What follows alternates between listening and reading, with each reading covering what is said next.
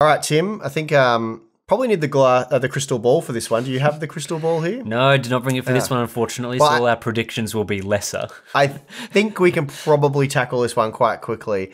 To anyone with a 5000 series CPU, uh, is it even worthwhile to upgrade to AM5 CPUs? So, Well, we don't have the new AM5 CPUs, so so basically, we can't give you an answer on that because we don't know how good they are. We, we we know very little at this point, despite you know AMD giving some official information.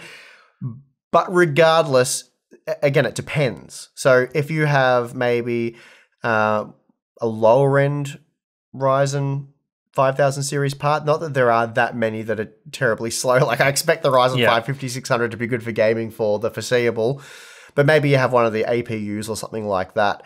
Um, then you know, you maybe maybe you're also gaming but getting into video editing or something like that. So you want some more cores.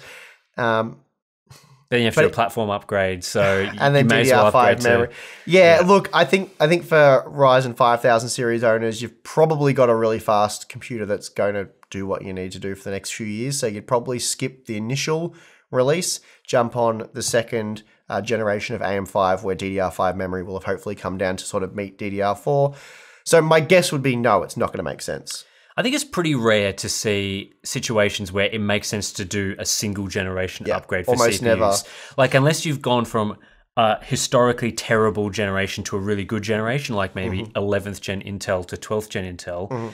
Aside from those to upgrade situations, anyway. which yeah, I, I know, but I guess my point is that saying. Yeah, yeah. you go from something ba- really bad Yeah. and not very fast to something that's much faster. That's the only time it makes sense. But even throughout most of the Ryzen generation, it didn't really make a lot of sense to do those single generation upgrades. No, that's right, and that's why the that's why we thought that the AM4 platform, the broad support, the longevity of that platform would be a key selling point.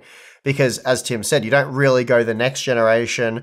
The generation after that, maybe that's where it starts to possibly make sense. And I think with AM4 it did, especially, if you jump up a tier, like Yeah, you're going, you're going up- Ryzen five to two generations future Ryzen seven. It's a big Absolutely. upgrade. Yeah, yeah. From like the Ryzen 5 1600 to the Ryzen 7 3700X. That was a huge performance upgrade, um, depending on if you needed that performance. And then certainly the generation after that, it made sense. So, yeah. I think that answers that one.